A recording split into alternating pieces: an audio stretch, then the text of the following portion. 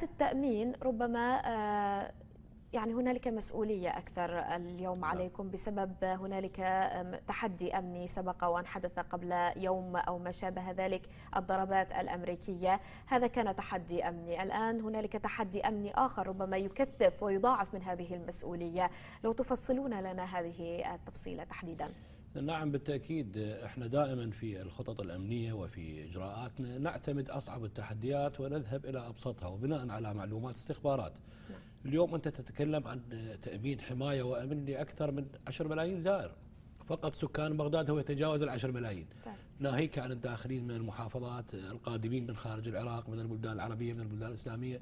هذا يفرض يعني جزء كبير وجهد كبير عن القوات الأمنية. القوات الأمنية بقدر المسؤولية يعني بقدر التحدي. لذلك أعلنت خطة مغايرة. الخطة الأمنية تختلف عن السنوات السابقة من حيث الإجراءات. الابتعاد عن القطوعات حصلت بعض القطوعات بحكم جغرافية بعض المناطق بحكم نعم. الضغط في الأعداد. كانت قطوعات وقتية ولم تكن ثابتة.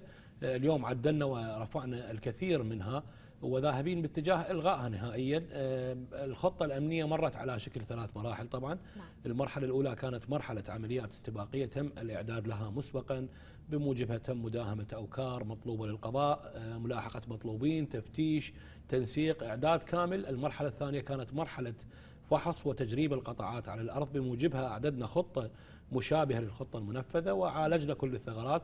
والآن دخلنا في مرحلة الفاينل. الفصل الثالث هي الخطة التنفيذ المباشر إلى هذه اللحظة وفي منتصف فصولها لم نسجل أي خروقات. آه، العملية تسير ضمن ما مرسوم لها انسيابية عالية جدا. آه، خطة خدمية ناجحة خطة أمنية ناجحة والأجهزة الأمنية تنتشر. إضافة إلى تعزيزات وصلت من عدة محافظات منها نينوى وبابل والمثنى. آه، وصلاح الدين وتعزيزات أخرى تعزيزات في مجال الشرطة الاتحادية. نشد على أيديكم بكل تأكيد. هذه الجهود الجباره ليست غريبة علينا. اذا آه، التنسيق سيادة العميد التنسيق مع وزارة الصحة. أيضا هنالك بالتأكيد انتشار أيضا للدفاع المدني. لا سمح الله إذا حدثت نعم. إشكالية أو ما شابه ذلك. هذه التنسيقات أيضا ذكرتم مع الكهرباء أيضا والنقل. كيف تسير عملية التنسيق؟ يعني هي شكلت لجنة أمنية عليا وخدمية. اللجنة يترأسها معالي السيد وزير الداخلية السيد عبد الأمير الشمري. فيها كل الدوائر الأمنية من قوات مسلحة عراقية من حشد شعبي آه، من جهاز مكافحة الإرهاب من كل الصنوف والتشكيلات إضافة إلى كل الدوائر الخدمية والوزارات الخدمية. الكهرباء آه، الصحة النقل آه، أمانة بغداد محافظة بغداد كل هذه المسميات هي موجودة في هذه اللجنة. يشرف وزير الداخلية إشراف مباشر على هذا الموضوع. فلذلك القرار والقرار والأمر هو مركزي. والتنسيق عالي واللجنة مستمرة على مدار الساعة. أيضا الأمانة العامة للعتبة الكاظمية موجودة جزء من اللجنة فلذلك هو التنسيق عالي على مدار الساعة على مدار اليوم ونلاحظ أي عقبات أي خروقات أي ما شابه ذلك. أقصد خروقات ليست أمنية خروقات احتياجات في مجال النقل أو الصحة. نعم. أيضا دور وزارة الداخلية والقوات المسلحة لا ينحصر فقط على الجانب الأمني.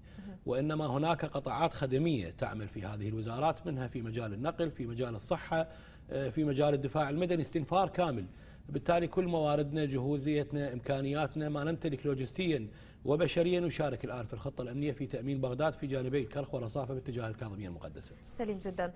سيادة العميد فيما يخص التفويج العكسي باذنه تعالى متى سيبدأ وما هي الإجراءات وفي أي يوم ربما قريب؟ يعني التفويج مستمر هو منذ بداية الخطة أغلب الزائرين يصل إلى الكاظمية نسعى بشكل كبير جدا آه، إخلاء أي زائر بعد انتهاء الزيارة ادخلنا كل العجلات خطة النقل ما ميزها هذا العام آه، كان في كل عجلة نقل آه، كبيرة نعم. هناك عنصر أمن حتى لا تتوقف حتى لا يكون زخم في العجلات وأيضا يكون الإجراء سريع والتسهيل أسرع. لذلك هذا أيضا إضافة جديدة للخطة الأمنية. الآن التفويج مستمر لكن قد نشهد يوم غد وبعد غد تفويج أكبر بحكم وصول الأعداد وخروجها. آه، هذا الموضوع وضعت له حسابات كاملة وأعدت له خطة كاملة لهذا الغرض. تمام. طيب آه، سيادة العميد باستفهام أخير أود أن أعرف المواقف الأمنية التي استنبطتموها من هذه آه، الزيارة لهذه السنة بما أنها تختلف كما تقولون جنابكم وكما نلاحظ ونرصد إعلاميا. ما هي المواقف التي تستنبطونها؟ يعني المواقف إحنا دائما نستلهم من هكذا مناسبات مهمة نستلهم الصبر الإصرار التحدي العزيمة. آه، أيضا القوات الأمنية تأخذ امتدادها الروحي من هكذا مناسبات فبالتالي إحنا نؤدي واجبنا بكل مهنية بكل حرفية بكل إخلاص ومع ذلك مع السهر والتعب وطول الأيام نشعر بالسعادة ونشعر بعدم التعب مع وجود التعب بعدم التعب في أداء واجباتنا. سيادة العميد مقداد ماري المتحدث الرسمي باسم وزارة الداخلية أشكرك جزيل الشكر على هذه التوضيحات المهمة تشرفت بوجودك شكرا معنا. جزيلا شكرا.